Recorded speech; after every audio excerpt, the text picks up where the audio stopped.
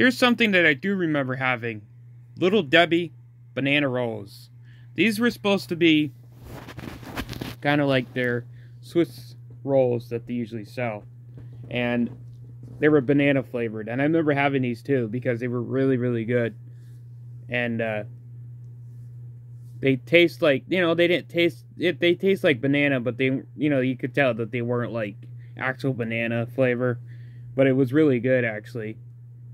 It's kind of like the, the, uh, the, the, uh, the banana flavor was almost like a, uh, like a, uh,